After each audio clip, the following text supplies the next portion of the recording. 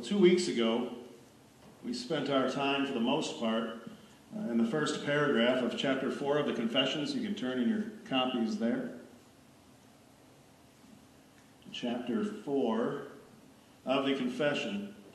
Uh, since it's been a while, we'll go ahead and read the whole chapter. It's been a couple weeks. And then we'll recap a bit what we've learned so far, since the truths in the confession are building upon one another. Chapter 4 of the Confession Creation. In the beginning, God the Father, Son, and Holy Spirit was pleased to create or make the world and all things in it, both visible and invisible, in a six day period, and all very good. He did this to manifest the glory of his eternal power, wisdom, and goodness. After God had made all the other creatures, he created humanity. He made them male and female, with rational and immortal souls, thereby making them suited to that life lived unto God for which they were created. They were made in the image of God, being endowed with knowledge, righteousness, and true holiness. They had the law of God written in their hearts and the power to fulfill it. Even so, they could still transgress the law because they were left to the liberty of their own will, which was subject to change.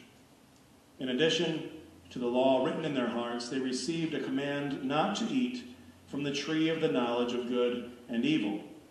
As long as they obeyed this command, they were happy in their communion with God and had dominion over the creatures. Let's pray. Almighty God, you are the Lord of hosts, you are the King of glory. We worship you and praise you now as we're gathered together yet again on the Lord's day. And I pray that that would be uh, something that every soul here is, is just welling up with thanksgiving for. What a privilege we have to gather with the saints on the Lord's day. What a privilege we have to even know what the Lord's day is, to have been called unto Christ for salvation. And now to live a life uh, pleasing in His sight. What a privilege. Let us not uh, see ourselves as poor, but rich. If the whole world were to uh, turn away their gaze from these truths, if it were just us, we would be the richest of the whole world. We have truth and there is nothing more valuable than truth. There's no greater currency. Tomorrow, many will line up at certain places for physical food that will be handed out. And it's amazing, as we've seen, the lines of cars that are often there for bread and water. Now you call out from your word, Come, everyone who thirsts, come to the waters, and he who has no money, come buy and eat. Come buy wine and milk without money and without price. Why do you spend your money for that which is not bread, and your labor for that which does not satisfy? Listen diligently to me, and eat what is good, and delight yourselves in rich food. Thank you, Father, for gathering us together this evening to the banquet of your word. I pray that we would treasure it. Those who cannot be here, we ask that you bless them and supplement uh, their joy, uh, the lackings that they have for not being able to gather together with the saints. Those who ought to be here, I pray that you convict them. It's a, it's a request made from love for their, for their good, that they would see just the utter foolishness of seeking bread and, and water temporal things that will perish when they have at no cost to themselves. Not that it was free, for Christ paid the ultimate price, but at no cost to themselves, they have bread that will uh, lead, lead them to be never hungry again, and water that will lead them to never be thirsty again. Forgive them, we ask, and lead them to repentance, and we pray that you would now uh, prepare our minds, prepare our hearts. I pray that, that the worship that we've already conducted, the prayer will have prepared us to receive your word as it's outlined in the confession. Thank you for it. And may it affect our lives unto holiness and righteousness, that we would grow uh, pleasing in your sight. Thank you that in Christ we are already accepted. His work is finished and complete. Thank you that we can rest in that. Now, let us live in accordance with these truths, pray. In Jesus' name, amen.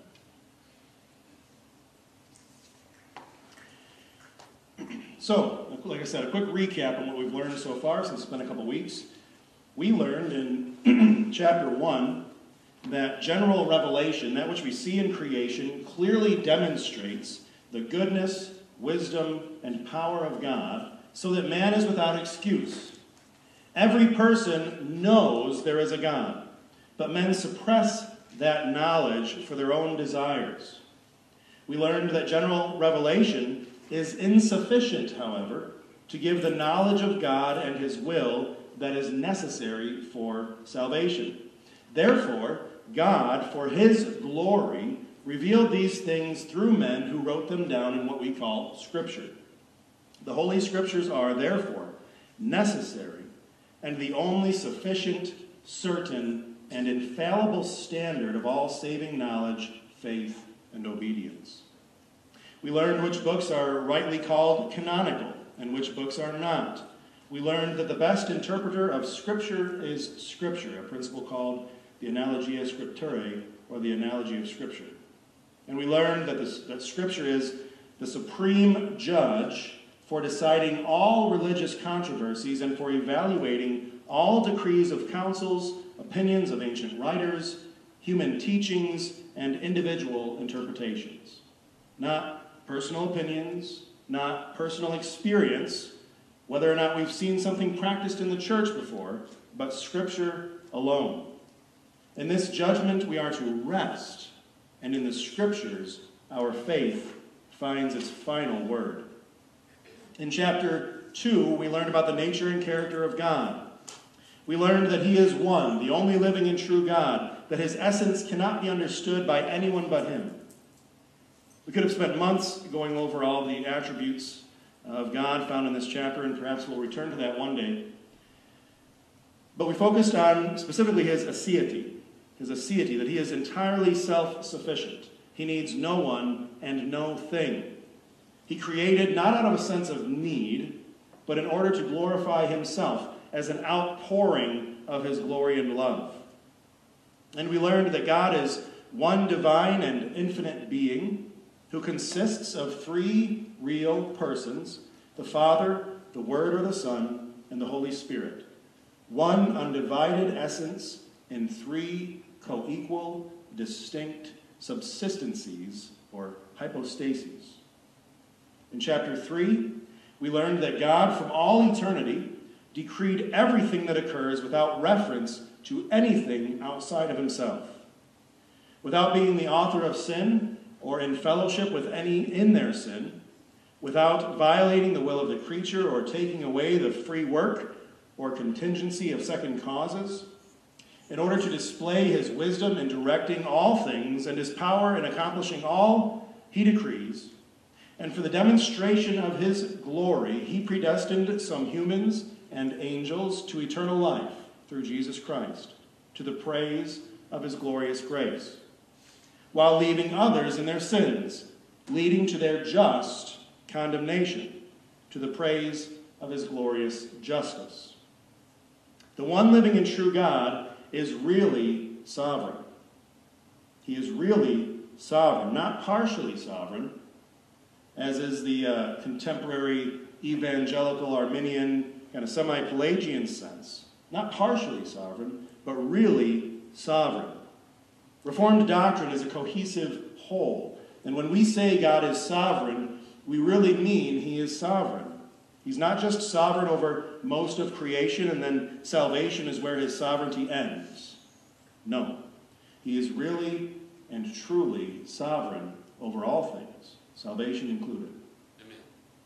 And so far, we've learned in chapter 4 that the one living and triune God, in perfect harmony of intent, scope, and means, created all things.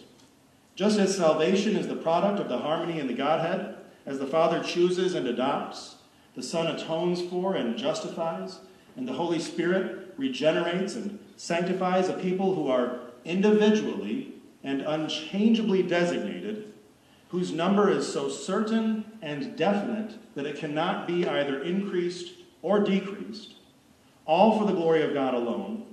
So, in the same way, creation was the product of triune harmony. And we learned or bolstered our confidence in the truth that God made all things in six literal days, and he rested on the seventh. There's only one living and true God, and he is the one who made all things in six literal days, and he rested on the seventh. Those who worship him must worship him in spirit and truth. And in the Old Testament, part of worshiping God in truth meant what that meant was working for six days as he did, and resting as he did on the seventh, on the Sabbath. This was a sign and a covenant between the people of the living and true God and God himself. I wanted to bring this up last week, um, but time didn't allow it. One of the statements affirmed in our Constitution is the Chicago Statement on Biblical Inerrancy. Uh, if you haven't looked that up yet, that would be a great resource for you to study the Chicago Statement on Biblical Inerrancy. Article 12 of that statement says this We affirm that Scripture, in its entirety, is inerrant, being free from all falsehood, fraud, or deceit. We deny that biblical infallibility and inerrancy are limited to spiritual, religious, or redemptive themes, exclusive of assertions in the fields of history and science. We further deny that scientific hypotheses or theories about Earth history may properly be used to overturn the teaching of Scripture on creation and the flood. Scripture informs and guides scientific, scientific inquiry, not the other way around. The worldview of the observer in the scientific method will always determine the understanding of the data. God really did create the world and everything in it in six literal days. And we learned that God is neither contained nor constrained by the natural laws that he himself made. Human history is punctuated by divine actions that transcend the physical. Indeed, creation itself is one such event, as well as the incarnation, the resurrection, and the second coming of Christ. Those who say otherwise are scoffers, according to Scripture. Our hope is in the very reality that God does really physically and spiritually work all things from a droplet of rain to an individual's salvation to the whole redemptive story according to his wise, perfect, and good counsel. And this week, we're going to explore what the inspired, sufficient, inerrant, infallible, necessary Word of God has authoritatively declared about the triune God who eternally decreed and carried out his plan to create man on the sixth literal 24 hour day of creation. And we're going to consider what the Bible has to say about the nature of that man and all mankind with him. John Calvin said that, that wisdom lies in knowing God and knowing oneself. Wisdom lies in knowing God and knowing oneself. The beginning of wisdom is the fear of, and hence the knowledge of God, says Proverbs 1 7. If we do not know God, we cannot really know ourselves, so it is right that the confession addressed first God and the Holy Trinity. In light of that knowledge, wisdom demands we next lay hold of and submit to what the Word of God has to say about man, about us. So, to the Word and to the testimony, to the inspired mirror we fly. We'll spend most of our time uh, between this week and maybe next week, we'll see, exploring what it means to be made in the image of God what it means to be made in the image of God, undeniably the most profound revelation of the nature of man. But first, we'll address several other uh, important anthropological distinctions or, or uh, characteristics of man that make man who and what he is, as we just read in the confession. First, or number one, man is not an animal. Man is not an animal, but a distinct and unique creature. He is distinct from the rest of creation. He is distinct from animals. And maybe you're thinking that these things are self evident or obvious. They're, they're not in our culture today. They haven't been for some time, and our children are going to grow up and have to give answers for these things. And maybe some of us have unknowingly yielded to some of these philosophies. The confession clearly demonstrates from the Word of God that man is not an animal. He is a distinct and unique creature. Paragraph 2 of chapter 4 begins with After God made all the other creatures, he created humanity. After God made all the other creatures, he created humanity. Please turn to Genesis chapter 1 in your Bibles. Genesis chapter 1. Verses 24 through 31 in, Genesis chapter 1 record God's creative activity on the sixth day of creation. Follow along as I read. And God said, Let the earth bring forth living creatures, according to their kinds, livestock and creeping things and beasts of the earth, according to their kinds. And it was so. And God made the beasts of the earth according to their kinds, and the livestock according to their kinds, and everything that creeps on the ground according to its kind. And God saw that it was good. Then God said, Let us make man in our image, after our likeness, and let them have dominion over the fish of the sea and over the birds of the heavens, and over the livestock, and over all the earth, and over every creeping thing that creeps on the earth. So God created man in his own image. In the image of God he created him. Male and female he created them. And God blessed them, and God said to them, Be fruitful and multiply, and fill the earth and subdue it, and have dominion over the fish of the sea, and over the birds of the heavens, and over every living thing that moves on the earth. And God said, Behold, I have given you every plant, every plant yielding seed that is on the face of all the earth, and every tree with seed in its fruit. You shall have them for food. And to every beast of the earth, and to every bird of the heavens, and to everything that creeps on the earth, everything that has the breath of life, I have given every green plant for food. And it was so. And God saw everything that he had made, and behold, it was very good. And there was evening and there was morning the sixth day. After God made all the other creatures, he created humanity. After. Man is distinct from the rest of creation. The creation of man was its own event. The Bible does not say, and, and as God was making the animals, he, he made one which he called man. No. The same language that is employed throughout the creation account to segment it, to segment it, to, to differentiate between different aspects of the creative act, separates animals from mankind here. And God saw that it was good. And God saw that it was good. God said, Let there be light. There was light, and God saw that it was good. God separated the dry land from the waters, and God saw that it was good. God uh, created vegetation, and God saw that it was good. God made the sun, the moon, and the stars, and he saw that it was good. God made livestock, creeping things, and beasts, and he saw that it was good. God made man. There's a clear demarcation between the creation of the animals and the creation of man. God made animals, it was good, then God made man. Man is not an animal. Mankind is distinct from animals. Whatever the similarities, human beings are not part of the animal kingdom. Humans are distinct. They're not even mammals, regardless of the similitudes. They're not even mammals, regardless of the facts that we are, for example, ambulatory. We're able to move on our own, that we're chordates, or we have a backbone, that we have hair, milk glands, or grasping fingers. None of these make us mammals. For mammal is an ontological or categorical distinction within the animal kingdom. Mammals are a class of a phylum of the animal kingdom. Man is not an animal. Man is not a mammal. And similarities should not be surprising to us anyway. Of course, there are similarities. There is one creator. Of course, there are similarities. There is one creator. But that does not mean that we're the same as animals. We share similarities with plants, too, but that doesn't make us conifers.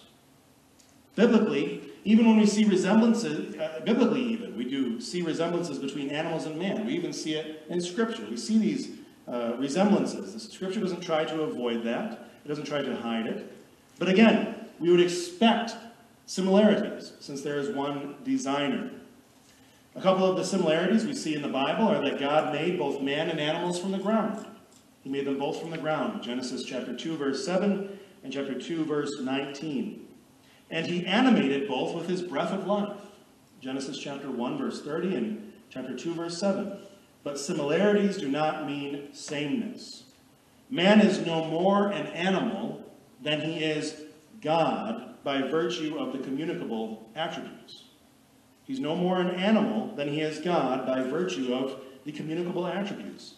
After God made all the other creatures, he created humanity. Man is, is the apex, the, the high watermark of creation, totally distinct from all other creatures. Second, he made them male and female. He made them male and female. Genesis chapter 1, verse 27. So God created man in his own image. In the image of God, he created him. Male and female, he created them. We read in Genesis chapter 2 that God made the, the, man first. He made the first man, Adam, from the dust of the ground. He then made Eve, the first woman, from the man. Genesis chapter 2, you could just probably flip the page right over to verse 21. So the Lord God caused a deep sleep to fall on the man, and while he slept, took one of his ribs and closed up the place with flesh. And the rib that the Lord God had taken from the man, he made into a woman, and brought her to the man. Then the man said, This at last is bone of my bones and flesh of my flesh. She shall be called woman, because she was taken out of man. He made them male and female. We will not linger long here. The degree of darkness into which our society has fallen is manifest, and its willingness to deny the most basic and self evident realities about the nature of humanity. There's no fear of God before their eyes, and they deny the clear revelation of their Maker. But let it be said without obfuscation without apology from this pulpit, he made them male and female. There is no such thing as gender fluidity, and there are not many genders. There are two. Male and female, he created them. Another sermon series could be spent on the beauty of this distinction a beauty that is destroyed in the current foolish theories of this culture. It is a beautiful distinction. But for now, let it suffice. He made them male and female. Let's take uh, one more thing into consideration briefly before moving on. Male and female, he created them, the inspired text says. And we understand from the same revelation that there was at the outset one male, one man named Adam, and one female, one woman named Eve. God created two individuals, a male and a female. He didn't make several or many, but two. Two individuals. And from these two, the whole earth was populated. From these two individuals, Adam and Eve, the whole earth was populated. Every single human being's genealogy will eventually reach back to the first couple. So, what's the point? What's the point I'm trying to get at here? The point is that there is only one human race. There is only one human race. There are not many races, or even several. There is one. Black, white, yellow, red, these are not races. They are subjective and arbitrary terms that really mean nothing. There is only one human race. There is only one human race. And oh, that our culture would submit itself to the Word of God. And may it yet be so. So man is distinct from all other creatures. God made mankind male and female, and there is only one human race. In the confession, these embattled truths are held high for all to see. No wonder so many have argued for the utilization of Reformed confessions and catechisms through, through the years. No wonder many have argued for this. If more had, perhaps we would not as a culture be fighting battles that were won long ago. If children grew up with these emblems of divine revelation before their eyes, perhaps fewer would be inclined to fix their gaze upon lower and sillier things. Every generation is made up of individuals. Every generation is made up of individuals who need to be born again and need to be taught the wisdom of God. And that generation that allows itself to become lax in its instruction of the next, even if it be the most holy generation to ever walk the earth, will undoubtedly, but for the sovereign grace of God, be allowed by a most be followed by a most pernicious and foolish one. Even the most holiest generation, if it will not instruct the rest, will be followed by a most pernicious and foolish one. Man is distinct from all other creatures. God made mankind male and female, and from that first man and woman came the human race. Thirdly, thirdly, God made man with rational and immortal souls.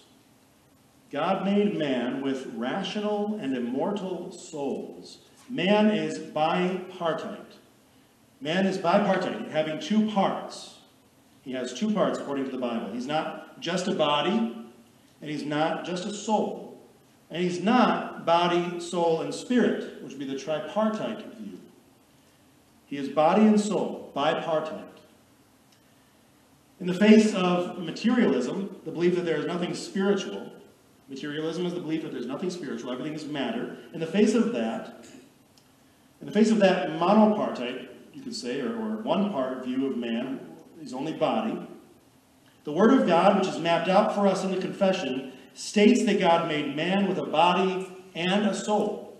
Man has a body and a soul. Genesis chapter 2, verse 7, we've already alluded to. God made man from the dust of the ground. Man has a physical body. Part of his constitution is physical. He was made from the physical earth. He is actually physical. Genesis 3, verse 19, repeats this assertion in the context of the curse that man would die and return to the ground from which he was made. You are dust, and to dust you shall return. And Psalm 90, verse 3 echoes it as well. You return man to dust, and say, Return, O children of man. Literally, return, O children of Adam. Man is physical. He has a physical body. He was made from the physical earth. But man is also spiritual. He's also spiritual. He has a soul. Matthew chapter 10, verse 28 depicts clearly the bipartite nature of man. And do not fear those who kill the body, but cannot kill the soul. Rather, fear him who can destroy both soul and body in hell. Single Christian women, according to the Apostle Paul, are undivided in their efforts and devotions because they are able to be devoted to the Lord and holy in body and in spirit. 1 Corinthians chapter 7 verse 34. In 2 Corinthians chapter 12 verse 2, a very interesting uh, passage, Paul tells Paul tells about a man in Christ, quote unquote, a man in Christ, indirectly referring to himself, who was caught up to the third heaven. And he goes on to say, whether in the body or out of the body, I do not know. So, setting aside the, the whole matter of, of the third heaven for now, the point is that there are two options in Paul's mind. There are two options for Paul to be in the body, for the soul or the spirit to be in the body, or to be out of the body, for the soul or the spirit to be out of and separated from the body. There, there are two options in Paul's mind.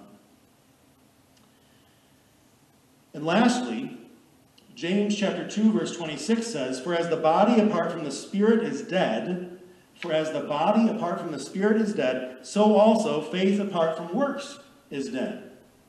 James uses an illustration as an illustration uh, for the necessary consequence of true faith. He uses as an illustration for what true faith will look like the bipartite nature of man. So we see that the Bible is full of clear statements about the bipartite nature of man. Man is, man is body and soul, not just soul. Body is not a mirage, it is real. And he's not just body, there is a, he has a soul. And the rejection of this, another basic truth, has led to some of the most abominable theories ever devised by the human mind. It has left untold numbers of spiritually and physically tortured human creatures in its wake. The most obvious manifestation of this rejection of God's revelation about the nature of man is found in modern psychology. Modern psychology. Modern psychology is predicated on the foolish premise that there is no God. Modern psychology is based on, is founded on, the foolish idea that there is no God.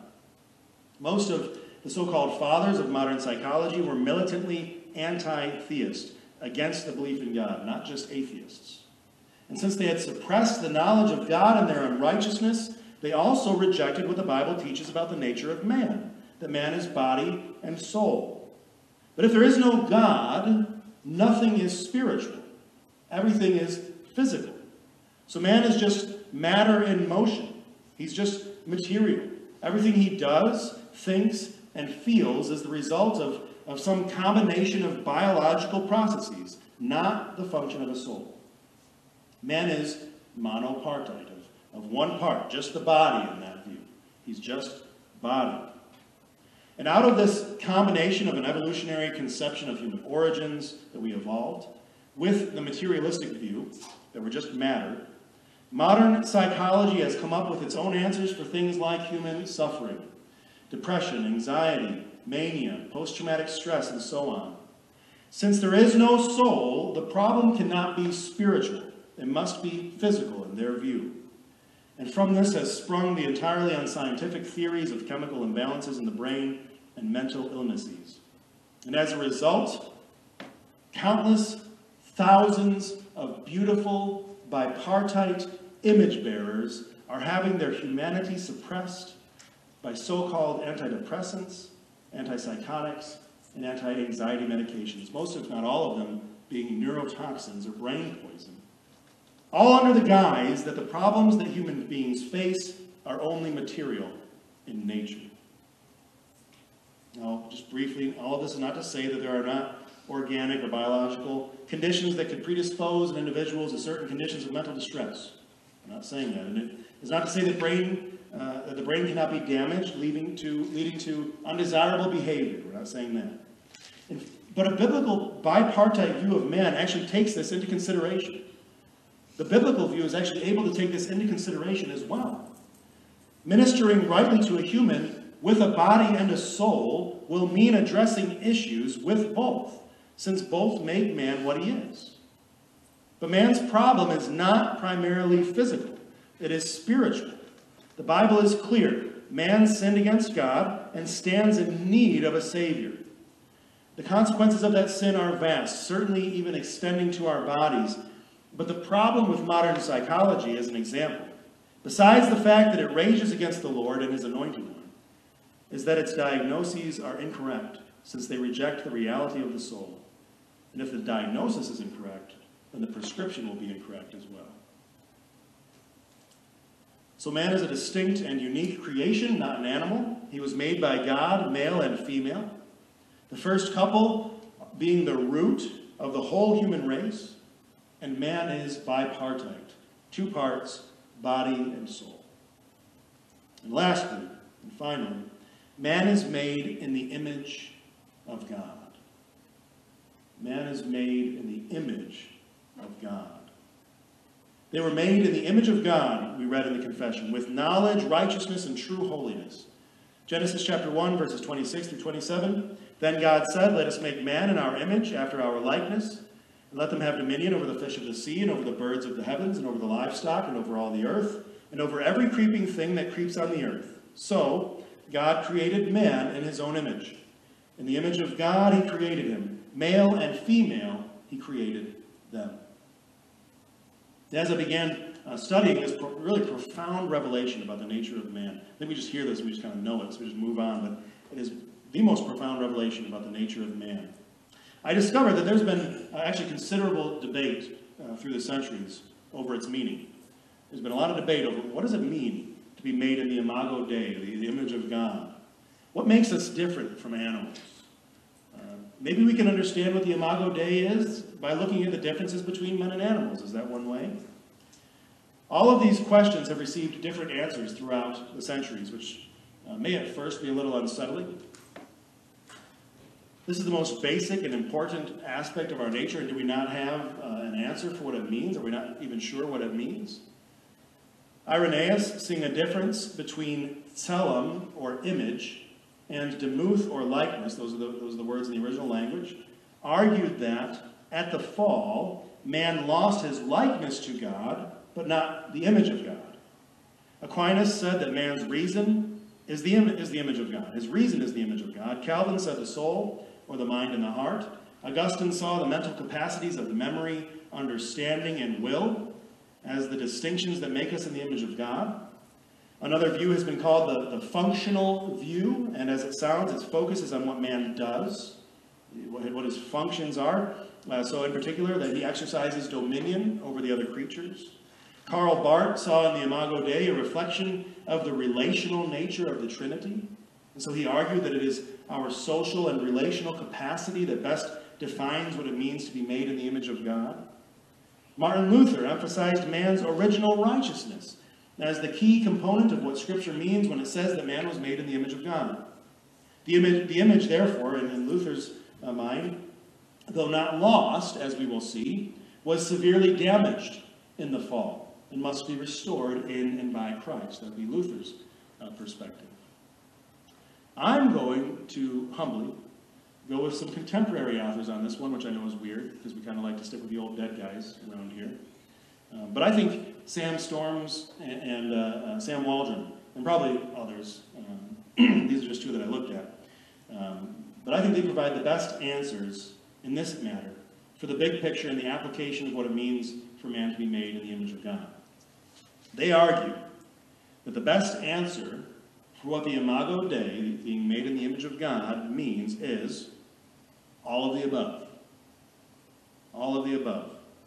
In some sense, being made in the image of God would include all of the truths just mentioned reason, mental capacities, dominion, relationship, original righteousness, and a progression into the image of God in Christ.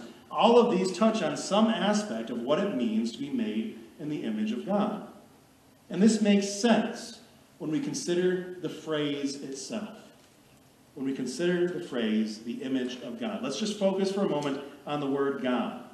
Let's just, just set aside image for a second. Let's just focus on the word God. Whatever it means to be the image, whatever that means, we know that the image we are made in is God's. Right? We're made in God's image. God, we already know, thankfully, from our studies in the confession, is infinite, boundless, and beyond complete understanding.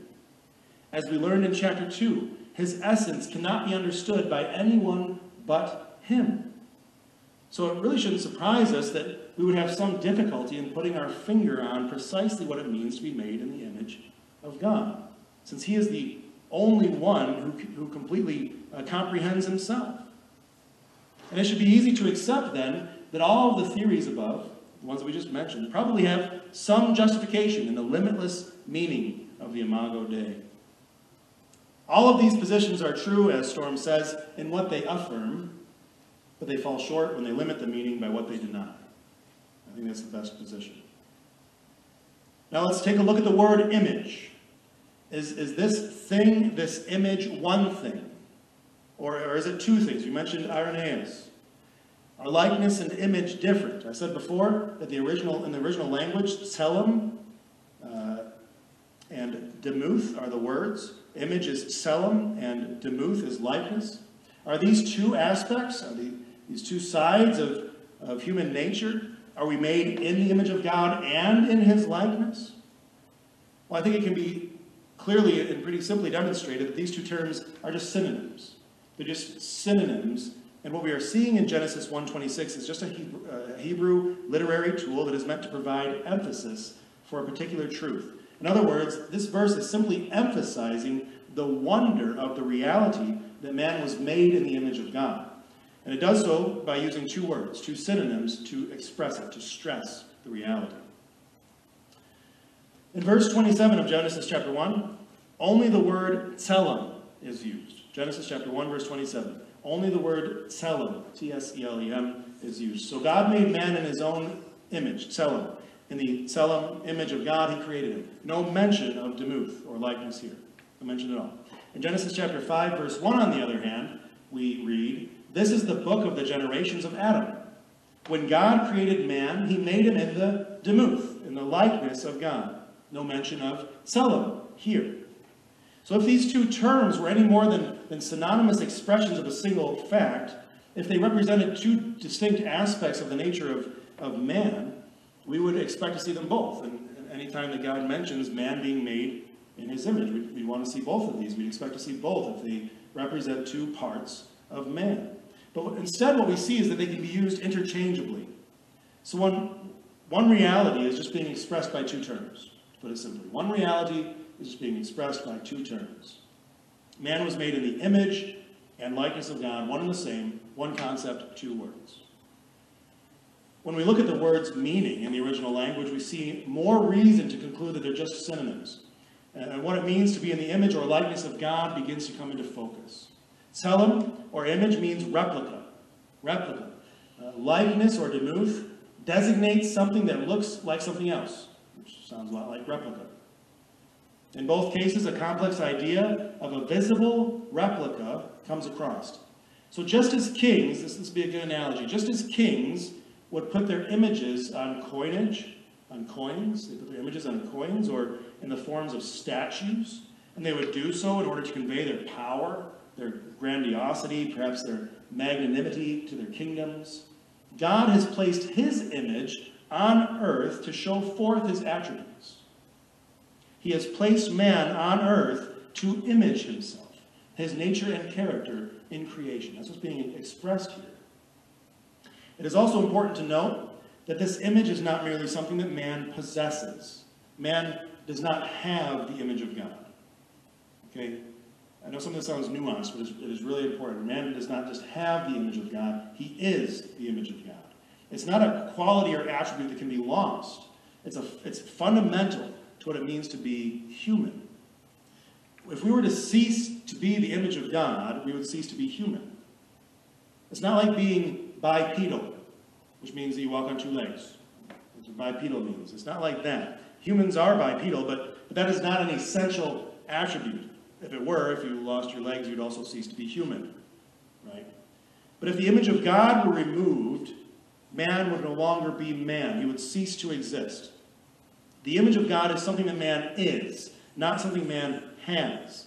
Man's purpose, the very reason he was created, the only reason he draws breath, is to glorify God by imaging him to the world.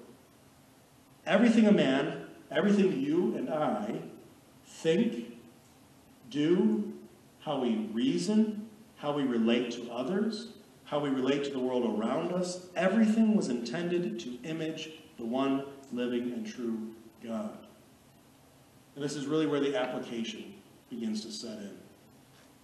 Being made for the purpose of glorifying God, being made to image Him, to reflect who and even what He is to the world around us, is something that involves every aspect of our lives. Because it involves every aspect of who we are by nature. There is nothing in our daily lives, nothing that is irrelevant to the fact that we were made to image God. Everything you do, everything you do is communicating something about God. Even the things you do in secret are imaging God. Because consider this Adam was in the image of God uh, even before Eve was made, wasn't he? Wasn't Adam imaging God even before Eve was made and, and no one else was around? It was just him. Who, who was he imaging God to? Plants, animals, things visible and invisible, angels, both fallen and upright, the very cosmos, and God himself. Even if there are no other observer, observers, you are imaging God. And he is the most important audience. Now, this is a fearful thought. This is a fearful thought when we consider that our secret sins are laid bare before the one who sees all. But it is also a wonderful thought. Your God is the one who sees in secret, and he will reward you for imaging him rightly because he sees in secret. He is the center of the universe, not man. God is the center of the universe, not man. It doesn't matter if other men don't see something. If a tree falls in the woods, yes, there's a sound, even though nobody's around. Because man is not the center of the universe, God is. Everything was made for him, not for man. He is the primary audience of his own glory and image. He is the audience, not man. Even when no one else sees, God does. And he rewards right imaging of him, even when it is done in secret. And this remains our purpose even after the fall. Even after the fall, it's still our purpose to image, him. Some have said, as we mentioned, that man lost this aspect of his nature altogether, that he lost imaging God altogether at the fall. But this is not true. Again, really rather easily demonstrated from Scripture. It's not true. Man did not cease to be the image of God after the fall. How do we know this? By Genesis 9, verse 6. Genesis chapter 9, verse 6. We know that man did not stop being the image of God after the fall because of the biblical teaching of capital punishment. Whoever sheds the blood of man, by man shall his blood be shed. For God made man in his own image. After the fall, when God is establishing one of the most important pillars of society, the sanctity of human life, he appeals to the fact that he made man in his own image. Why should a murderer be put to death? Because he is destroying the image of God. And the only thing that expresses how heinous such an act is would be for the offender to lose his very life. So we see that even after the fall, man was in the image of God, and all that that means was and still is relevant. Now, here's the problem. Something relevant to the image of God did occur at the fall. Something did happen. Something did change. Whereas before sin came into the world, the man was imaging God rightly. Adam was imaging God rightly. Eve was imaging God rightly before the fall. God's knowledge and righteousness and holiness were being imaged rightly. After the fall, though man is still imaging God, he is imaging God wrongly. After the fall, man is imaging God wrongly. Men sin and reflect the image of God to the world around them.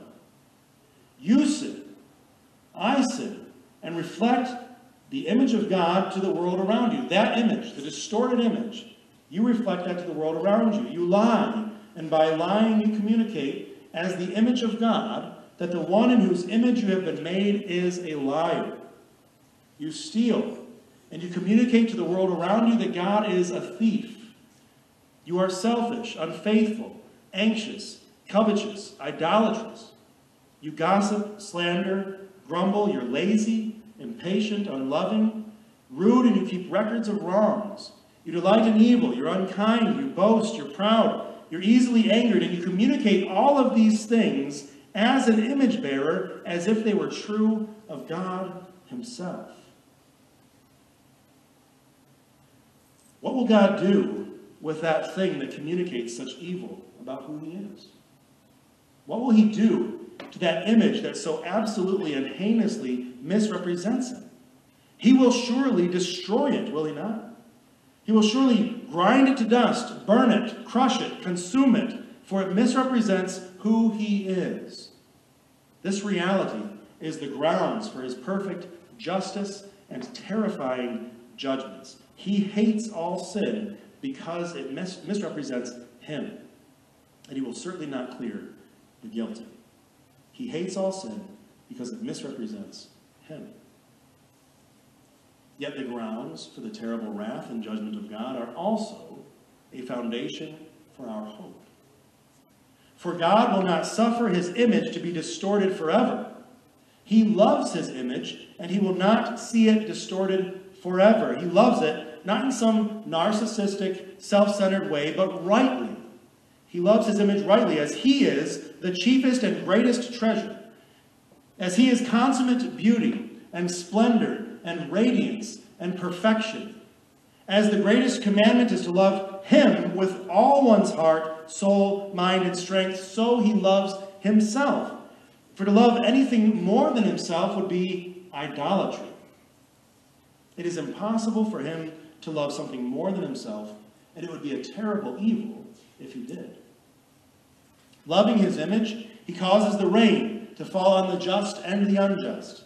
In this sense, he loves the whole world.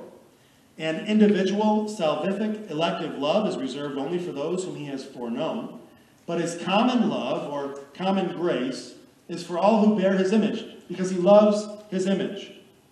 And it is for this reason that he will restore some who were made in his image, that they might once again image him rightly. The elect of God are those whom God has chosen to reform, to restore into a right image of Him. through faith in the one who is the express image of God, the one who perfectly demonstrated in everything his thoughts, his reasons, his will, his relationships, his dominion, the image of God perfectly in all things, because he was and is God, through faith in him, you are being restored into a right image of God. Not based on your own imaging of God, your own righteousness, for before you were granted faith, you did nothing but misrepresent it. Before you were granted faith, you did nothing but misrepresent it. But based on the perfect imaging of Jesus Christ, on his perfect righteousness, you are now being restored into an accurate image bearer of God. Colossians chapter 1, verses 15 through 22. He is the image of the invisible God, the firstborn of all creation. For by him all things were created, in heaven and on earth, visible and invisible, whether thrones or dominions or rulers or authorities, all things were created through him and for him. And he is before all things, and in him all things hold together. And he is the head of the body, the church. He is the beginning, the firstborn from the dead, that in everything he might be preeminent. For in him all the fullness of God was pleased to dwell, and through him to reconcile to himself all things, whether on earth or in heaven, making peace by the blood of his cross. And you, who were once alienated and hostile in mind, doing evil deeds, he is now reconciled in his body of flesh by his death in order to present you holy and blameless and above reproach before him. In order that you would now image him rightly. And now you love his image. You love his image. Now that you've been regenerated, you love his image, where before you hated it. And if he had if his, if his image had come to earth before you, you would have killed it.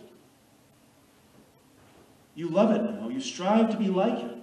You love his image, which you see in others, though it remains distorted. And so you love your neighbor. You love his image, so you love him, and you strive to be like him. And you love his image in others, so you, you strive to love your neighbor. This is the power of God at work in you. The non elect, on the other hand, are those whom God has chosen to destroy as a demonstration of his rightful hatred of that which defaces his image. Quoting uh, Waldron, the, the moral duty of man is to be like God, to follow his example. As man is the image of God, his sin is always the misrepresentation of God. The sinner perversely represents God. Our representation of God is either accurate or slanderous, but never morally neutral. This being so, God can never be indifferent to wicked behavior. He is committed to clear his good name and avenge himself upon those who persist in misrepresenting him. If, you've been, if you have not been granted restoration in Christ, if you have not been granted restoration in Christ, plead with your Creator today while his face can still be sought. Do not think that he will abide your slanderous representation of him forever. Even the good you do damns you. Even the good you do damns you because you do it for a reason other than the glory of God. You do it for something else, which makes that thing an idol. The good works you do damn you because they image God as an idolater. And so, do you see then how foolish a dependence on your own good works to reconcile you to God is. Only the blood of Jesus, only depending on his righteousness and his complete work of imaging God and bearing the just penalty for your misrepresentation of him, will save you from the fires of hell. Cry out to him. Call upon him.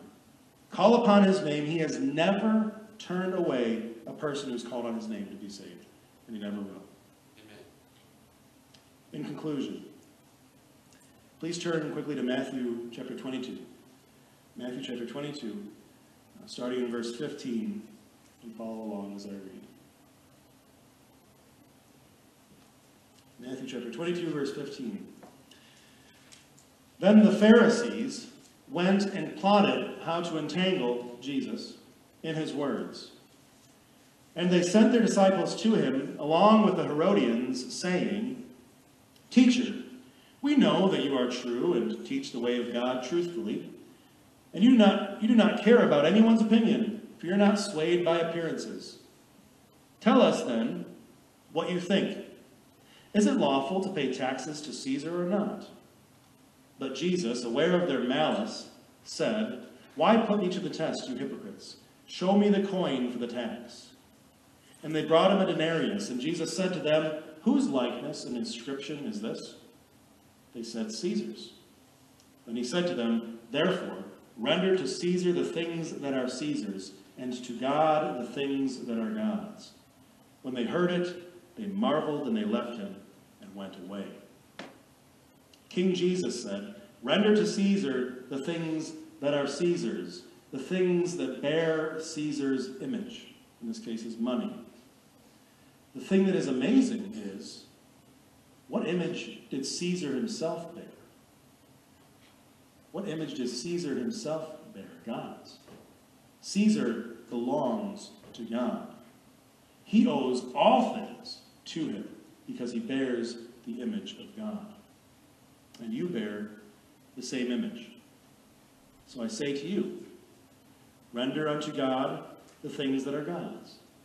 Your whole life, everything about you, was intended to image the glorious one.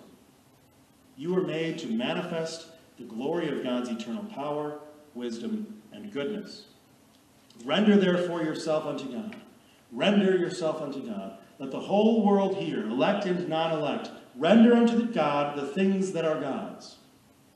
He will not suffer his image to be perverted forever, but he is long suffering and willing to restore. Whoever exalts himself will be humbled, and whoever humbles himself will be exalted. Let's pray. Almighty God, it is necessary for us to apply the truths that we've explored this evening. It is necessary for us to understand you. So I pray for every soul here that, that each one would come to a greater understanding of who you are, of your nature and character, and through that knowledge that we might see who we are, how infinitely we fall short, how great our sin is, and how lovely Christ is, how amazing and wonderful his work is for us. And that in response to that, we will desire to image you as we were intended, as we were created, to glorify you, to image you in all that we do. I pray this be a great encouragement to your, your sheep, your children here this evening, that you are interested in everything that they do. Not just the visible things, not the things that we consider big, but the day in and day out things this week.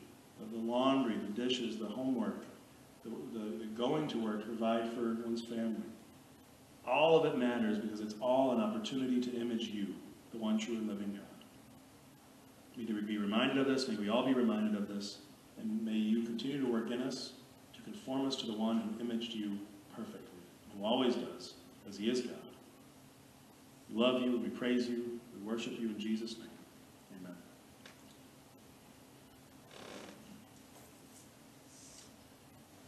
Let us stand